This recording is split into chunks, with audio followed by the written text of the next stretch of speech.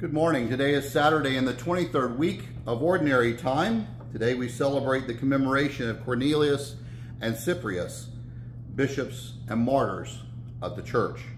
Our morning prayer begins on page 658.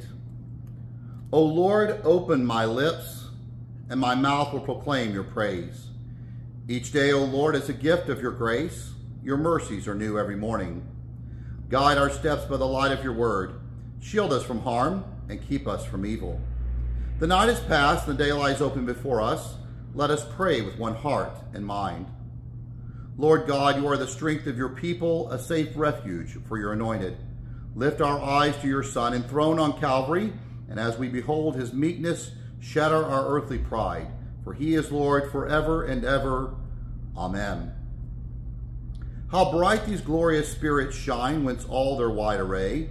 How came they to this blissful seat of everlasting day? Lo, these are they from suffering great, who came to realms of light, and in the blood of Christ have washed those robes that shine so bright.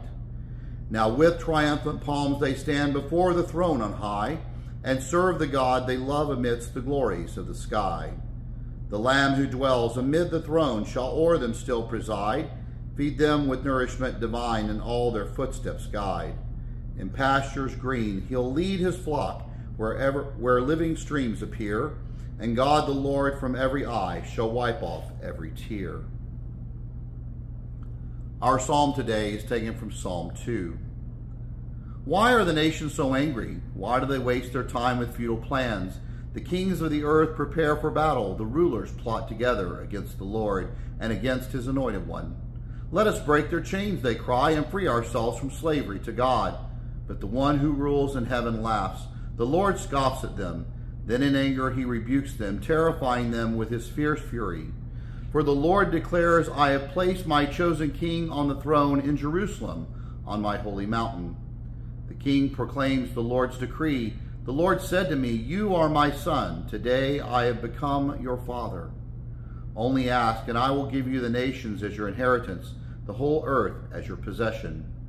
You will break them with an iron rod and smash them like clay pots. Now then, you kings, act wisely.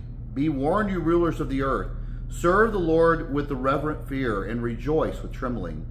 Submit to God's royal Son, or he will become angry, and you will be destroyed in the midst of all your activities.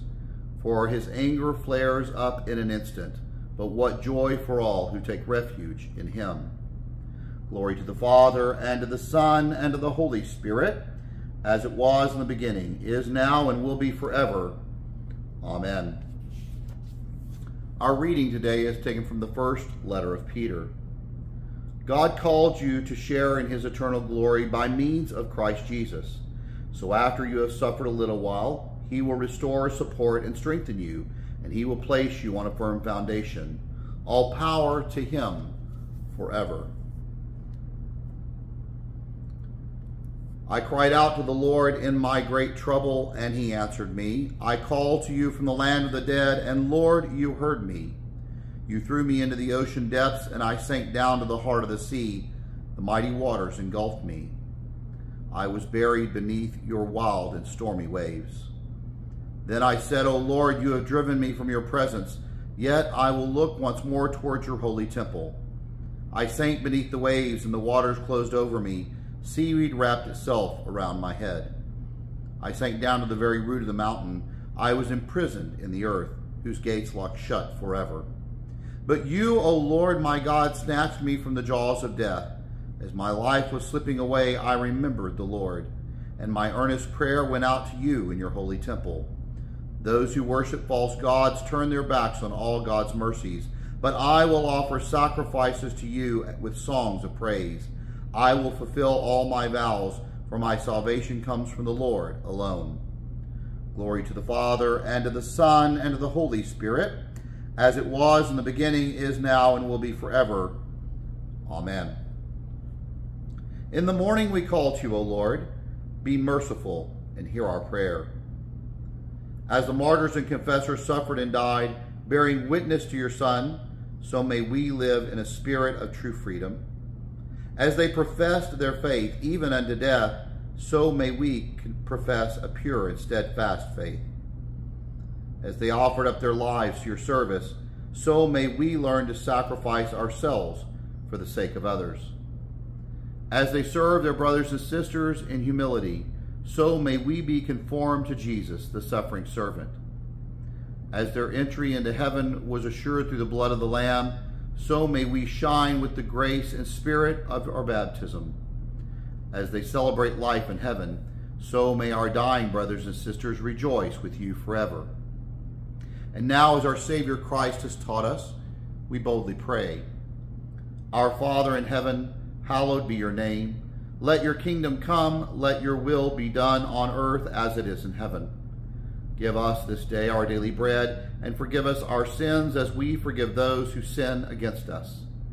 Save us from the time of trial, and deliver us from the evil one.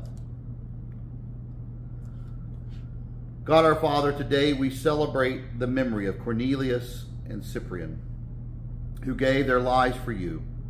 Grant that their love for you, even unto death, may direct our gaze without wavering towards the light of your glory, where they are united with the risen Christ, now and forever.